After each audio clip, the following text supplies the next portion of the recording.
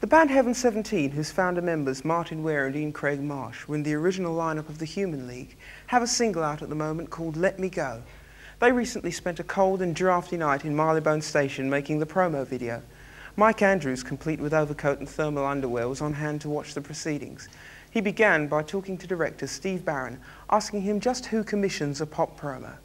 It varies quite a lot from uh, job to job, but 50% of the time, I suppose, it's uh, the record company who directly come to us and give us a budget or say they've got a band and they send us a track. Um, but there are, I mean, we've got regular clients where the bands actually approach us direct and, um, and some bands also where the management's very strong, where they do want to come, they want to come and find their own video company and they don't even talk to the record company about it first. Could you tell us about this Heaven 17 video, what the story is for this one? I found the track very atmospheric. It's a song called Let Me Go.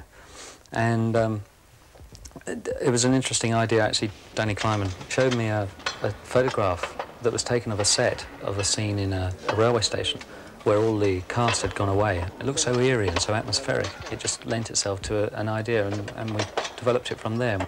We're off to Marylebone Station at midnight because you can't get a, a big railway station empty any other time except through the night. So obviously we've got to work the crew through the night and everything to get it.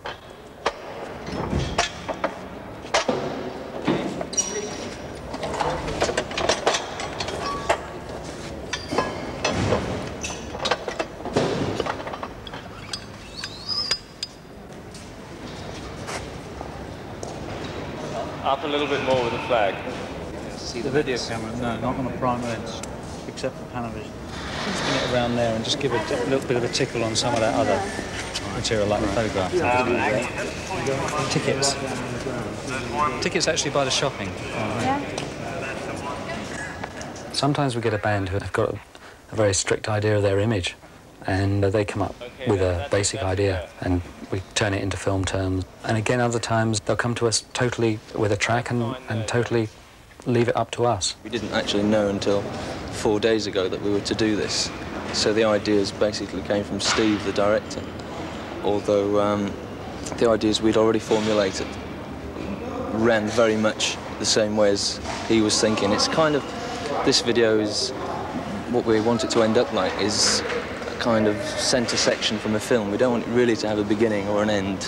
How important do you feel video is in Heaven 17 and its the total concept of the thing? Very important for us because um, at the moment we don't play live at all, so it's the only chance really that the public gets to see us. So they're very important to us.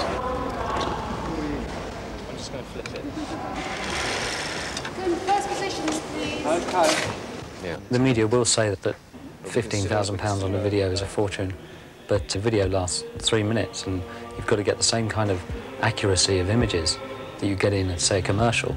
And for a 30-second commercial, your average budget nowadays is about £50,000, and we get 15,000. So in comparison to that, it's, it's nothing. Do you think it's possible that a, a good video can maybe help sell a, a weak song? Yes, obviously we've got to be careful and not just churn out videos that uh, are arty and meaningless and slightly offensive. But if they carry on being tasteful and, and being original, then I think we'll go forever. I don't think necessarily you should video should be viewed as a glamour medium. I mean, I think it has been used like that to a large extent recently. But uh, hopefully, for instance, this video, we're, we're, we're, aiming to do something that's got a bit more, uh, a few more levels to it.